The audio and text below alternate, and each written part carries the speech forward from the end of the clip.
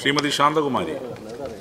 Sir woman empowerment നമ്മുടെ സംസ്ഥാന ഗവൺമെന്റിന്റെ സുപ്രധാനമായ പോളിസിയാണ്. രണ്ടായിരത്തി പതിനേഴിൽ വനിതകൾക്ക് വേണ്ടി പ്രത്യേക ഡിപ്പാർട്ട്മെന്റ് നിലവിൽ വന്നു. വളരെ ശ്ലാഘനീയമാണ്. ജെൻഡർ ബജറ്റിംഗ് നടപ്പിലാക്കിക്കൊണ്ടിരിക്കുന്നത് ബഹുമാനപ്പെട്ട മന്ത്രി ഇവിടെ സൂചിപ്പിച്ച പോലെ വിദ്യാഭ്യാസ മേഖലയിൽ പ്രത്യേക- പ്രത്യേകമായിട്ടുള്ള പ്രോത്സാഹനം പ്രത്യേക ഡിപ്പാർട്ട്മെന്റുകൾ സ്ഥാപിച്ചുകൊണ്ട് നടപ്പിലാക്കിക്കൊണ്ടിരിക്കുകയാണ്. എന്റെ ചോദ്യം സർ വിദ്യാഭ്യാസ മേഖലയിൽ പ്രത്യേകിച്ചും വിദ്യാർത്ഥി സമൂഹത്തിനിടയിൽ ഈ പ്രോത്സാഹനം നൽകുന്നതോടൊപ്പം തന്നെ ജനറൽ ന്യൂട്രാലിറ്റി എന്നൊരാശയം ഫലപ്രദമായി നമുക്ക് പ്രോത്സാഹിപ്പിക്കേണ്ടതില്ലേ. അതിനാവശ്യമായിട്ടുള്ള എന്തെല്ലാം നടപടികളാണ് സംസ്ഥാന ഗവൺമെന്റ് ഏറ്റെടുത്തിട്ടുള്ളതെന്ന് വിശദീകരിക്കാം. യെസ് ജെൻഡർ ന്യൂട്രാലിറ്റിയെ പ്രോത്സാഹിപ്പിക്കാം.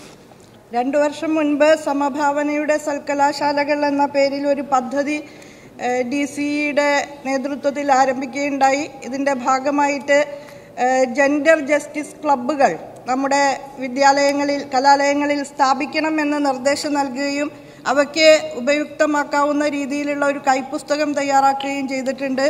എല്ലാ കലാലയങ്ങളിലും ജെൻഡർ ജസ്റ്റിസ് ഫോറങ്ങളും വിമൻ സെല്ലുകളും ശക്തിപ്പെടുത്തുന്നതിനുള്ള നിർദ്ദേശങ്ങൾ നൽകുന്നുണ്ട്.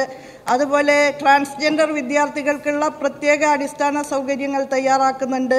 ജെൻഡർ ന്യൂട്രാലിറ്റിയുമായി ബന്ധപ്പെട്ട് യൂണിഫോം ഉള്ള ഇടങ്ങളിൽ പ്രത്യേകിച്ച് ഇപ്പോൾ ഐ എച്ച് ആർ ഡി അതിനായിട്ട് തയ്യാറായി മുന്നോട്ട് വന്നിട്ടുണ്ട്.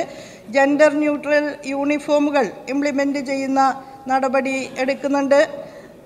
ഏറ്റവും ഒടുവിൽ മഹാരാജാസ് കോളേജിൽ ഒരു ജെൻഡർ ന്യൂട്രൽ ടോയ്ലറ്റ് സംവിധാനം ചെയ്തതുമായിട്ട് ഇന്ന് ഇന്ന് ഡിബേറ്റുകൾ നടന്നു വരികയാണ് കേരളത്തിന്റെ പൊതുസമൂഹത്തിൽ. പൊതുവെ പെൺകുട്ടികൾക്കും ട്രാൻസ്ജെൻഡേഴ്സിനുമൊക്കെ അനുകൂലമായ നിലയിൽ സമഭാവനയുടേതായ ഒരു അന്തരീക്ഷം ജെൻഡർ ജസ്റ്റിസ് ഉറപ്പ് കൊടുക്കുന്ന ഒരന്തരീക്ഷം കലാലയങ്ങളിൽ ഉണ്ടാകുന്നതിനു വേണ്ട പ്രോത്സാഹനങ്ങളും പദ്ധതികളും നടപ്പാക്കി വരുന്നുണ്ട്.